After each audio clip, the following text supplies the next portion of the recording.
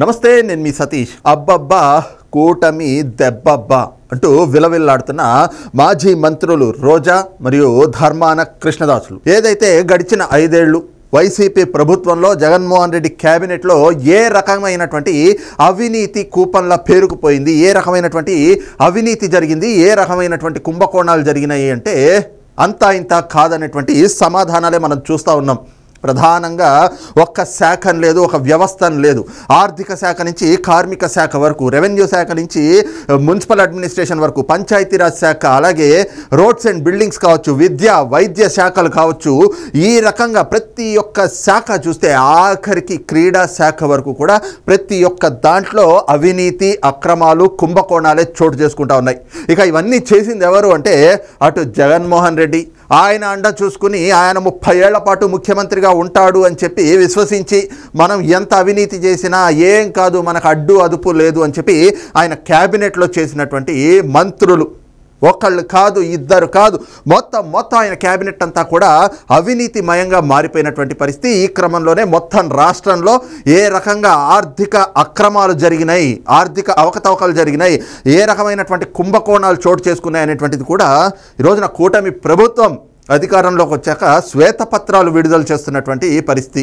మరి అదే సమయంలో చూస్తే ఇప్పటికే గడిచిన ఐదేళ్ళ జగన్మోహన్ రెడ్డి పాలనలో అక్రమాలు కుంభకోణాలు చేసినటువంటి ఆనాటి మంత్రులు ప్రస్తుత మాజీ మంత్రుల పైన విచారణకి కూడా కూటమి ప్రభుత్వం అయితే గనక ఆదేశాలు జారీ చేసినటువంటి పరిస్థితి. ఇప్పటికే వాళ్ళు కేసులు కూడా ఎదుర్కొంటూ ఉన్నారు. ప్రధానంగా చూస్తే ఏదైతే పెద్దిరెడ్డి రామచంద్రారెడ్డి మరి మదనపల్లిలో ఏదైతే సబ్ కలెక్టర్ కార్యాలయంలో ఫైల్స్ తగలపడిపోవడం ఏ రకంగా భూ దోపిడీ చేశారు భూములు ఆక్రమించేశారు కబ్జాలు చేశారు అనేటువంటి దానిపైన ఇప్పటికే ఆయన పైన కూడా కేసులు ఎదుర్కొంటా ఉన్నారు.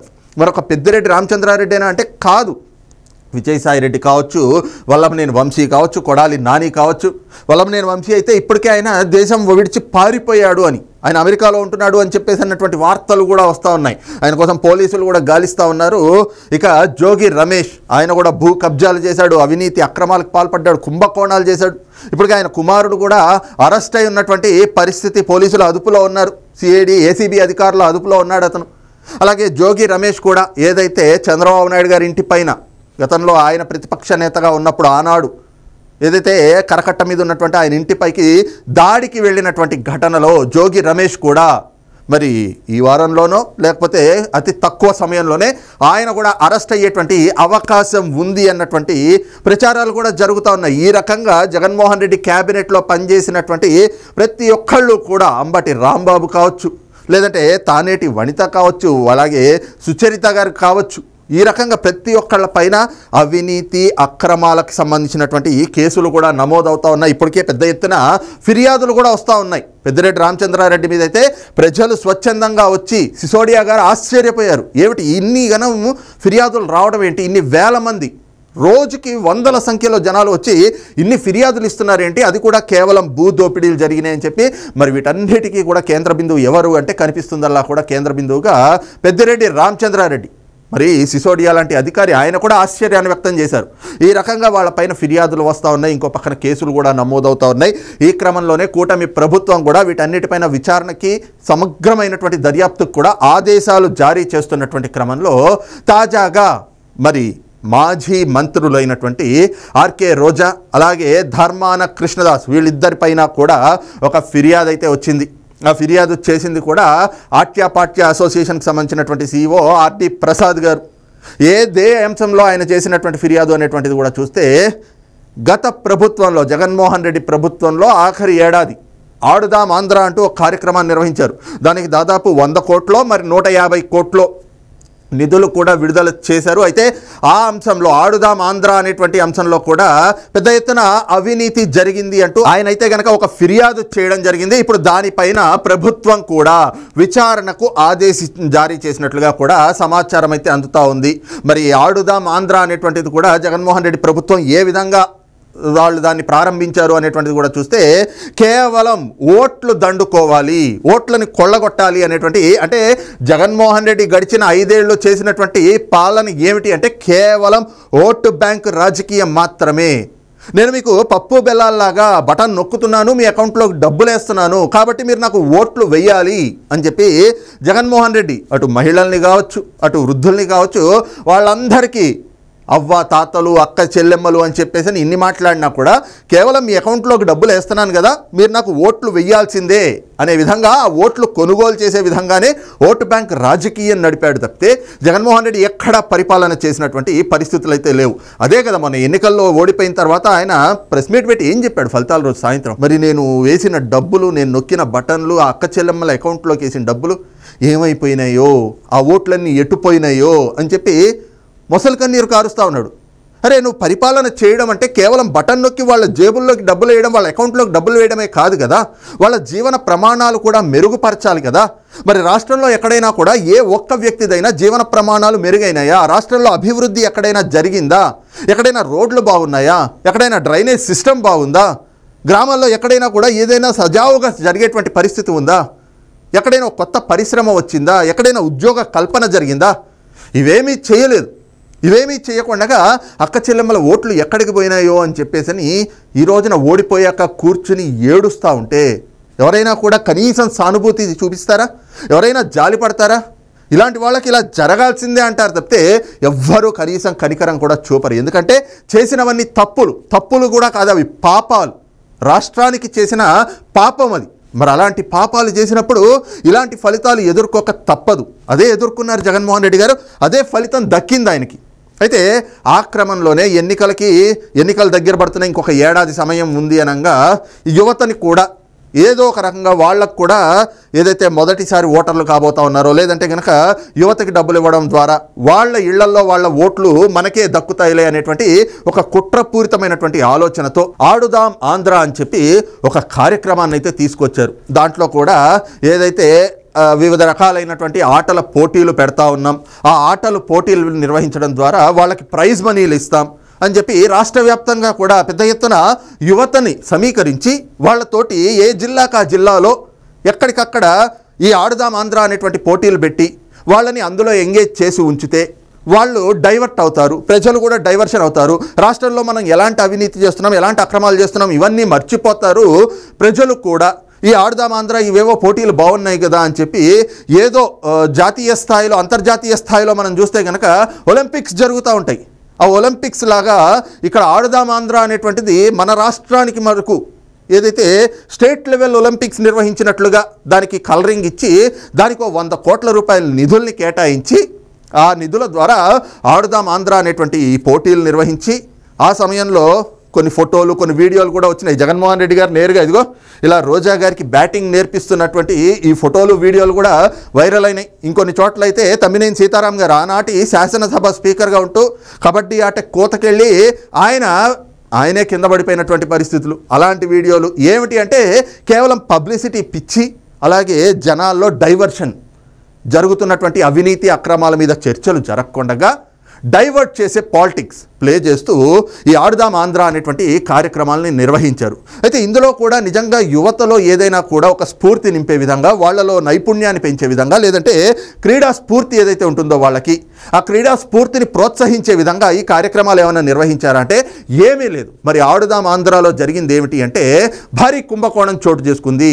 వంద కోట్ల నుంచి నూట యాభై కోట్లు ఎంతవరకు నిధులు కేటాయించారో తెలియదు కానీ అందులో కూడా అడ్డగోలు దోపిడీ చేశారు. ఎవరు చేసింది అంటే క్రీడా శాఖ మంత్రిగా ఉన్నటువంటి ఆర్కే రోజా గారు అలాగే రాష్ట్ర ఒలింపిక్ సంఘం అధ్యక్షుడిగా ఉన్నటువంటి ఆనాటి మాజీ మంత్రి ధర్మాన కృష్ణదాస్ గారు. వీళ్ళిద్దరు ఆధ్వర్యంలోనే ఈ ఆడుదాం ఆంధ్ర అనేటువంటి పోటీలు కూడా నిర్వహించడం జరిగింది.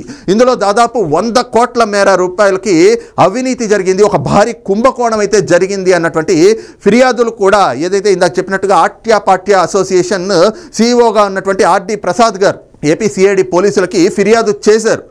వంద కోట్ల రూపాయల అవినీతి జరిగింది. దానిపైన విచారణ జరపండి అని కూడా ఆయన ఫిర్యాదులో పేర్కొన్నారు. దాన్ని అభ్యర్థించారు ఆయన. ఏ రకంగా అంటే ఒక్క అంశంలో కాదు. ముఖ్యంగా వాళ్ళకి ఏదైతే గనక అక్కడికి వచ్చేటువంటి క్రీడాకారులకు ఇచ్చేటువంటి కిట్లు ఏవైతే ఉంటాయో ఒక క్రికెట్ బ్యాట్లు కొనడం కావచ్చు బ్యాడ్మింటన్ బ్యాట్లు కొనడం కావచ్చు ఈ రకంగా ఏవైతే కిట్లు కొంటారో వాటిల్లో కూడా ఆ పరికరాల్లో కూడా పూర్తిగా నాణ్యత లేకుండగా నాసి రకమైనటువంటి పరికరాల్ని కొని వాళ్ళకి ఆ బ్యాట్లు అందించటం. ఆ బ్యాట్లు ఒక మ్యాచ్ రెండు మ్యాచ్లు ఆడేటప్పటికి విరిగిపోతూ ఉన్నాయి. అరే ఒక మంచి బ్యాట్లు కొని మంచివి ఇస్తే వాళ్ళు ఇంకో నాలుగు గేమ్లు ఆడతారు కదా. క్రీడాకారులకి మీరు ప్రోత్సహించాల్సినటువంటి పద్ధతి అది కదా. అలా కాకుండా నాణ్యత లేని నాసి రకమైన తక్కువలో వచ్చేటువంటి వాటికి ఎక్కువ ఖరీదు చూపిస్తూ బిల్లులన్నీ కూడా తెప్పించి నాసి రకమైనటువంటి ఆట కిట్లు ఆ పరికరాలను వాళ్ళకి ఇస్తే వాళ్ళు ఆ క్రికెట్ ఆడుతుంటే మధ్యలోనే బ్యాట్లు విరిగిపోతూ ఉన్నాయి. అలాగే కేవలం ఈ పరికరాలు కొనడం ఈ వస్తువులు కొనడం కాదు ఆట వస్తువులు కొండమే కాదు. ఆఖరికి వాళ్ళు పెట్టేటువంటి భోజనం అరే క్రీడాకారులు చక్కగా ఫిట్గా ఉండాలి అంటే వాళ్ళకి మంచి భోజనం ఇవ్వాలి పౌష్టికాహారాన్ని ఇవ్వాలి. అందులోనూ యువత కాబట్టి ఎదిగేటువంటి పిల్లలు కాబట్టి వాళ్ళకి మంచి ఆహారాన్ని ఇవ్వాలి. మరి మీరు ఆడుదాం ఆంధ్ర అని చెప్పేసి అని ఒక పోటీలు నిర్వహించినప్పుడు వాళ్ళకి ఎంత పౌష్టికాహారాన్ని ఇవ్వాలి? ఆ ఇచ్చేటువంటి పౌష్టికాహారం పేరుతోటి నాణ్యత లేనటువంటి భోజనాలు పెట్టి నాసిరకమైనటువంటి భోజనాలు పెట్టి ఆ భోజనాల్లో కూడా ఆ భోజనాల్ని కూడా కల్తీ చేస్తూ వాటిలో కూడా కుంభకోణమే అందులో కూడా దోపిడీ అరే ఆఖరికి పెట్టే భోజనంలో కూడా దోపిడీ చేశారంటే ఎంత దుర్మార్గులు వీళ్ళు అనేటువంటి చర్చ ఈరోజు జరుగుతూ ఉంది. ఎందుకంటే పిల్లలకి సరైనటువంటి ఆహారం లేదు అక్కడికి వచ్చినటువంటి క్రీడాకారులకి ఈ రకంగా ఏదైతే ఆట వస్తువులు క్రికెట్ కిట్లు కొన్న దగ్గర నుంచి ఏదైతే గనక వాళ్ళకి కల్పించేటువంటి ఏర్పాట్లు అంటే వాళ్ళు ఎక్కడైనా ఉండటానికి ఏర్పాట్లు చేయాలి వసతి ఏర్పాట్లు ఆ వసతి ఏర్పాట్లలో కూడా దోపిడీ వాళ్ళకి పెట్టేటువంటి భోజనాల్లో కూడా కల్తీ దోపిడీ కుంభకోణం ఈ రకంగా ప్రతి ఒక్క అంశంలో కూడా అవినీతి అక్రమాలు చోటు చేసుకున్నాయి. తద్వారా ఆడుదాం ఆంధ్ర అనేటువంటి పోటీలు నిర్వహిస్తున్నాము అని చెప్పి వాళ్ళకి ప్రైజులు ఇస్తున్నాము అని చెప్పేసి వంద కోట్ల రూపాయల కుంభకోణానికైతే మంత్రి రోజా గారు మాజీ మంత్రి ధర్మాన కృష్ణదాస్ గారు వీళ్ళిద్దరూ కూడా వంద కోట్ల అవినీతికి పాల్పడ్డారు అనేటువంటి ఒక ఫిర్యాదును కూడా ఆట్యాపాట్య అసోసియేషన్కి సంబంధించినటువంటి సీఈఓ ఆర్డి ప్రసాద్ గారు ఆయన ఇచ్చారు. దీనిపైనే ఏదైతే ఈ రోజున ప్రభుత్వం కూడా సిఐడి పోలీసుల ద్వారా స్పందించినటువంటి పరిస్థితి మరి దీనిపైన ఒక మెమోని కూడా జారీ చేశారు. ఆ మెమో కూడా ఏమిటి అంటే allegations against some sports minister Shrimati R K Roja Shri Dharmana Krishnadas and two others who were committed several malpractices misuse of funds on the eve of CM Cup uh, Adudam Andhra and thereby cause crores of rupees loss to the government. Vijayawada AP forwarding of regarding petition dated eleven six twenty twenty four అంటే June పదకొండో తారీఖున petition ఇచ్చారు ఆయన of Shri R D Prasad ex kabaddi national player AP CEO Atya Patya association అని చెప్పి ఇది ఏదైతే గనక commissioner of police Vijayawada is requested to take necessary action on the petition at his end అని చెప్పేసి అని కూడా ఏదైతే additional director general of police CID అని చెప్పేసి ఈ మెమోని కూడా ప్రభుత్వం నుంచి జారీ చేయడం అయింది. సిఐడికి సంబంధించినటువంటి అడిషనల్ డీజీ ఎవరైతే ఉంటారో వాళ్ళు విజయవాడ కమిషనర్కి ఈ మెమోని ఇచ్చారు. ఏదైతే ధర్మాన కృష్ణదాస్ అలాగే ఆనాటి మంత్రులైనటువంటి మాజీ మంత్రులు ఆర్కే రోజా ధర్మాన కృష్ణదాసుల పైన ఈ రకంగా ఒక పిటిషన్ అయితే కనుక ఒక ఫిర్యాదు అయితే వచ్చింది. వాళ్ళు ఆడుదాం ఆంధ్ర నిర్వహించినటువంటి కార్యక్రమంలో కోట్లాది రూపాయలు సంబంధించినటువంటి అవినీతి అక్రమాలు జరిగినాయి. ఆర్థిక అక్రమాలు జరిగినాయి. కుంభకోణం జరిగింది అనేటువంటి ఫిర్యాదు కూడా వచ్చింది కాబట్టి అది ప్రభుత్వ ఖజానాకి నష్టం వాటిల్లే విధంగా వాళ్ళు వ్యవహరించారు. అంటే ప్రభుత్వ ఖజానా నుంచి దోపిడీ చేశారు.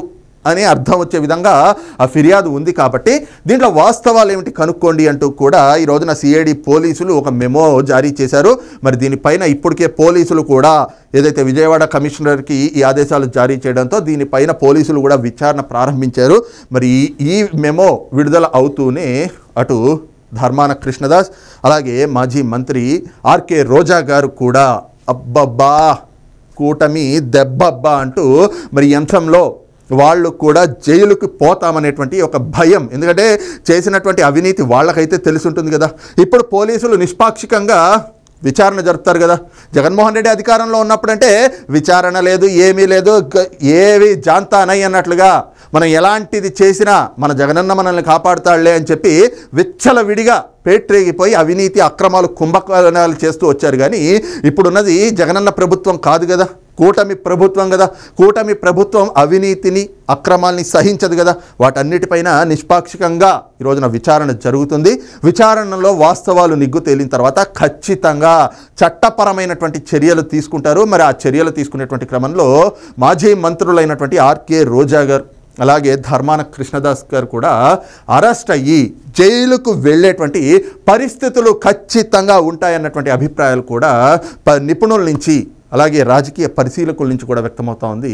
మరి ఈ అంశంలో ఏం జరగబోతా ఉంది అనేటువంటిది మాత్రం రాబోయేటువంటి రోజుల్లోనే తేలబోతా ఉంది కాబట్టి ఈ అంశం పైన మీ అభిప్రాయం ఏంటనేటువంటిది కూడా కింద కామెంట్ సెక్షన్లో మెన్షన్ చేయండి. Thank you